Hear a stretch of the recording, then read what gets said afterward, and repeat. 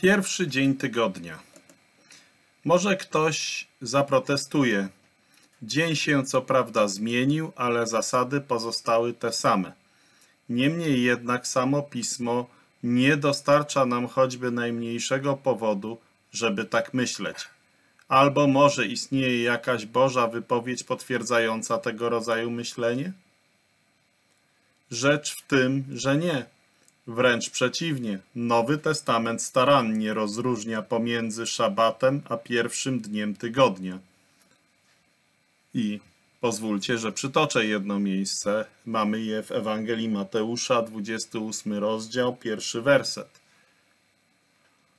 A po szabacie, o świcie, pierwszego dnia tygodnia przyszła Maria Magdalena i druga Maria, aby obejrzeć grób.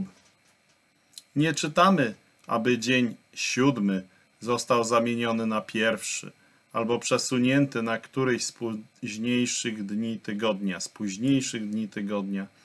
Pierwszy dzień tygodnia nie jest poprawką, nie jest modyfikacją szabatu, lecz zupełnie nowym dniem. Jest to pierwszy dzień, zupełnie nowej epoki, a nie ostatni dzień starej. Siódmy dzień znajduje się w ścisłym związku z tą ziemią i ziemskim odpocznieniem, podczas gdy pierwszy dzień tygodnia wprowadza nas w obszar niebios i jego odpocznienia. Ta różnica ma istotne znaczenie. Jeśli obchodzę siódmy dzień tygodnia, stawiam siebie na pozycji ziemskiego człowieka, ponieważ dzień ten wyraża odpocznienie ziemi, stan spoczynku stworzenia. Jeżeli jednak przez pouczenia Słowa Bożego i mieszkającego we mnie Ducha Świętego rozumiem i zrozumiem znaczenie pierwszego dnia tygodnia, natychmiast otworzą się moje oczy na jego bezpośredni związek z nowym, niebiańskim porządkiem którego wieczny fundament stanowią śmierć i zmartwychwstanie Chrystusa. Siódmy dzień należał do Izraela i tej ziemi. Dzień pierwszy jest własnością Kościoła, zgromadzenia i nieba. Izrael miał nakaz przestrzegania i czczenia dnia siódmego, podczas gdy Kościół ma wzniosły przywilej, by radować się pierwszym dniem tygodnia, i błogosławieństwami, jakie ze sobą niesie. Dzień siódmy stanowił swoisty test moralnego stanu Izraela. Dzień pierwszy stanowi dowód wiecznego przyjęcia zgromadzenia, czyli Kościoła, przez Boga. Szabat pokazywał, do czego był zdolny Izrael i co ziemski lud Boży potrafił uczynić dla Boga. Niedziela ujawnia, co Bóg uczynił dla nas, dla nas jako swojego niebiańskiego ludu. Zagadnieniem związanym z pierwszym dniem tygodnia jest Dzień Pański. Nie da się przecenić wartości i znaczenia Dnia Pańskiego. Jak niedziela nazwana jest w pierwszym rozdziale Księgi Objawienia i pierwszym liście do Koryntian, 11 rozdział, werset 20. Chodzi o objawienie Jana, pierwszy rozdział, werset 10. Mamy tak napisane tam właśnie pewnej niedzieli doznałem zachwycenia w duchu i usłyszałem za sobą głos potężny jak dźwięk trąby. To przeczytane przeze mnie z tego przekładu wydanego przez Towarzystwo Biblijne. Podobnie jest w Księdze Objawienia w tłumaczeniu Biblii Brzeskiej z 1563 roku. Werset 10 pierwszego rozdziału brzmi I byłem zachwycony od ducha w dzień niedzielny i słyszałem za sobą głos wielki jako trąby. Ponieważ jest to dzień, w którym Chrystus powstał z martwych, nie podkreśla faktu zakończenia dzieła stworzenia, lecz cudowny, wspaniały triumf, zwycięstwo, dzieło odkupienia. Obchodzenie pierwszego dnia tygodnia i przestrzeganie jego charakteru nie powinniśmy nigdy traktować jako mające nas zniewolić zobowiązanie i narzucone na chrześcijanina nieznośne jarzmo. To bardzo ważne, żebyśmy obchodzenia pierwszego dnia tygodnia i przestrzegania jego charakteru nie traktowali nigdy jako mającego nas zniewolić zobowiązania i narzuconego na chrześcijanina nieznośnego jarzma. Nie. Obchodzenie tego cudownego dnia jest szczególną radością chrześcijanina. Dlatego też czytamy, że to właśnie ten dzień pierwsi chrześcijanie preferowali jako odpowiedni do zejść na łamanie chleba. W początkowym okresie istnienia Kościoła różnica między szabatem a niedzielą była pieczołowicie zachowywana. Żydzi obchodzili szabat, schodząc się w synagogach, by czytać zakon i proroków. Chrześcijanie obchodzili pierwszy dzień tygodnia, zgromadzając się na łamanie chleba. Nie ma takiego miejsca w Piśmie Świętym, które nazywałoby pierwszy dzień tygodnia szabatem. Natomiast istnieje wiele dowodów na zupełnie różny, wręcz przeciwstawny charakter obu tych dni. Nie powinniśmy jednak nigdy tracić z oczu tej ważnej prawdy, że w przyszłości szabat będzie obchodzony w Izraelu i w całym stworzeniu. A więc szabat to jest przyszłe odpocznienie, a zatem pozostaje odpoczynek szabatu dla ludu Bożego. Tak mówi nam list do Hebrajczyków, czwarty rozdział, dziewiąty werset. Gdy syn Abrahama, syn Dawida, syn człowieczy zajmie należne mu miejsce rządów nad całą ziemią, wtedy zaświta cudowny szabat, odpocznienie i spokój, które nie zostaną już zakłócone przez grzech. Dzisiaj jednak jest on wciąż jeszcze odrzucony i wszyscy, którzy go znają i miłują, powołani są, by zająć wraz z nim jego miejsce odrzucenia. Są wzywani, aby wyjść poza obóz, znosząc pohańbienie jego. Tak mówi nam m.in. list do Hebrajczyków, 13 rozdział, 13 werset. Idźmyż wtedy do niego za obóz, nosząc urąganie jego. Gdyby ziemia mogła świętować szabat, nie mogłoby być mowy o pohańbieniu. Przyjrzyjmy się teraz nieco bliżej związkowi szabatu z wypływającą z Edenu rzeką. Tkwi w nim wiele ukrytego piękna. Po raz pierwszy słyszymy o rzece Bożej, która wymieniona jest tutaj w powiązaniu z odpocznieniem Boga. Gdy Bóg spoczął po dokonanym przez siebie dziele, całe stworzenie odczuło błogosławieństwo i orzeźwienie tego odpoczynku. Bóg nie mógłby obchodzić szabatu, nie dając ziemi odczuć jego świętego wpływu. Niestety, strumienie tryskające z Edenu, miejsca ziemskiego odpocznienia, wkrótce zostały zatamowane przez brutalność grzechu, zakłócając błogi stan spoczynku stworzenia.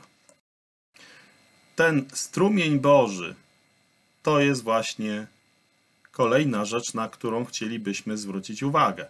Bogu niech będzie chwała. Grzech nie wyznaczył wcale kresu działaniu Boga, lecz stworzył raczej nowy obszar dla jego działalności i gdzie tylko widoczny jest działający Bóg, tam dają odczuć się również tryskające strumienie rzeki.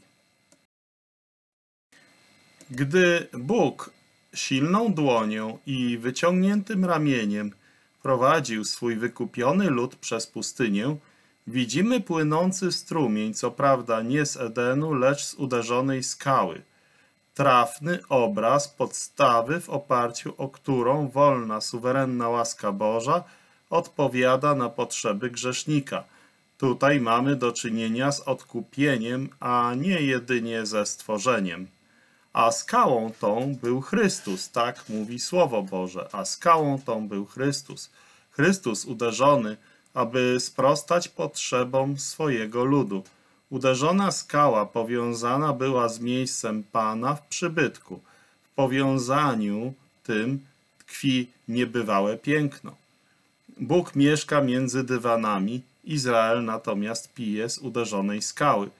Jakiż słodki język dla każdego otwartego ucha i każdego obrzezanego serca, jak to mówi druga księga Mojżeszowa 17:6. Oto ja stanę przed tobą tam na skale w Choreb i uderzysz w skałę, a wynidą z niej wody, które będzie pił lud. I uczynił tak Mojżesz przed oczyma starszych izraelskich. Gdy prześledzimy dalej historię dróg bożych, znajdziemy inny strumień i inną rzekę, płynące innym korytem. I to znajdujemy w Ewangelii Jana 7 rozdział od 37 do 38 wersetu. A w ostatnim wielkim dniu święta stanął Jezus i głośno zawołał: Jeśli kto pragnie, niech przyjdzie do mnie i pije. Kto wierzy we mnie, jak powiada pismo, z wnętrza jego popłyną rzeki wody żywej. Tutaj widzimy strumień tryskający z innego źródła i płynący innym korytem, choć w pewnym sensie źródło pozostało to samo, jest nim nadal sam Bóg. To jednak tutaj Bóg daje się poznać w oparciu o nową relację oraz na podstawie nowej, nieznanej dotąd zasady. Wyżej przytoczonym wierszu Pan Jezus w duchu zajął miejsce poza obowiązującym dotychczas porządkiem i przedstawił siebie jako źródło rzeki wody żywej, wierzącego natomiast jako kanał, którym ów strumień płynie. Niegdyś Eden jako źródło zaopatrzenia całej ziemi miał za zadanie wypuszczać z siebie użyźniające, orzeźwiające strumienie. W pustyni uderzona skała stała się źródłem zaopatrzenia dla spragnionych Izraelitów. Tak więc teraz każdy, kto wierzy w Jezusa, jest dłużnikiem i zaopatrzeniem swego otoczenia. Ma pozwolić, aby od niego obficie spływały na otaczających go ludzi rzeki wody żywej. Chrześcijanin powinien postrzegać siebie samego jako kanał, przez który obfita łaska Chrystusa chce wylać się na potrzebujący pomocy świat i im szczodrzej ją rozdaje, tym więcej też otrzyma, tak jak mówią przypowieści Salomona, 11 rozdział, 24 werset. Jeden daje hojnie, lecz jeszcze więcej zyskuje, inny nadmiernie skąpi i staje się tylko uboższy. Dla wierzącego jest to święty przywilej, ale jednocześnie poważna odpowiedzialność. Jest powołany, aby być świadkiem i żywym przedstawieniem łaski tego, w którego wierzy.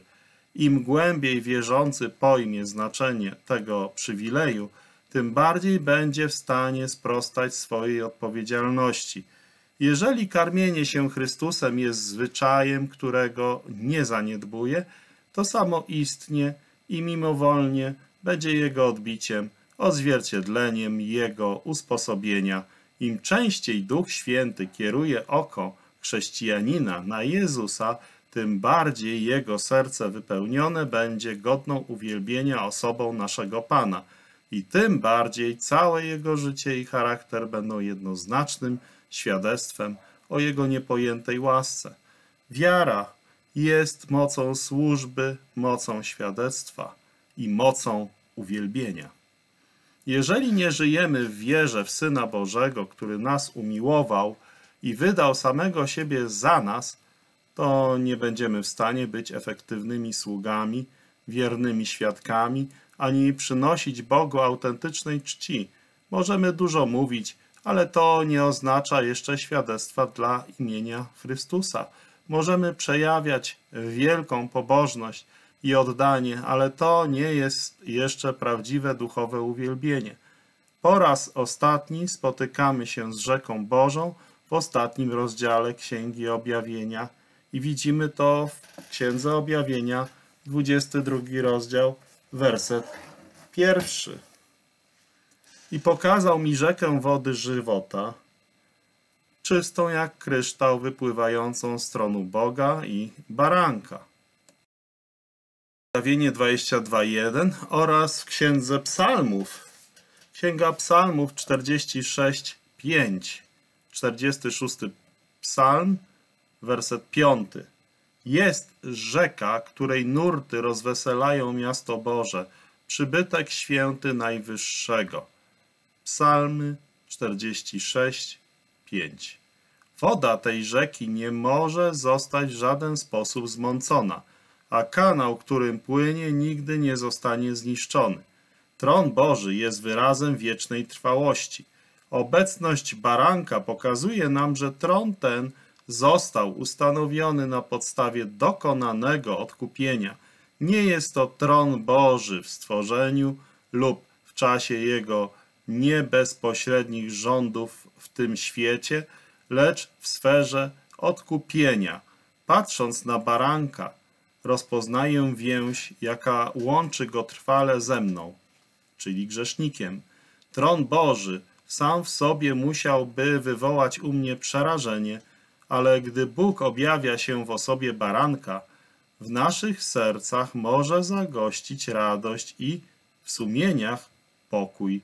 Krew baranka oczyszcza nasze sumienia od każdej plamy grzechu i pozwala nam ze śmiałością przebywać w obecności świętości, która nie może znieść grzechu. Na krzyżu wszystkim sprawiedliwym żądaniom Bożej świętości stało się zadość. Im więcej pojmuję świętość Boga, tym bardziej cenić będę krzyż. Im więcej cenię sobie tę świętość, tym większe w moich oczach będzie dokonane na tym krzyżu dzieło. Tak mówi m.in. list do Rzymian, 5 rozdział, 11 werset, 21 werset. Rzymian 5:21 Łaska króluje przez sprawiedliwość ku żywotowi wiecznemu przez Jezusa Chrystusa, Pana naszego. List do Rzymian 5:21.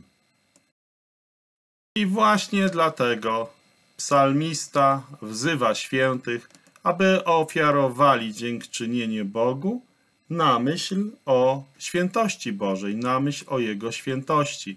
Jest to kosztowny owoc doskonałego odkupienia. Zanim chrześcijanin będzie w stanie wysławiać Boga i dziękować Mu na myśl o Jego świętości, musi spojrzeć na nią przez wiarę, jako ten, który przez krzyż otrzymał życie.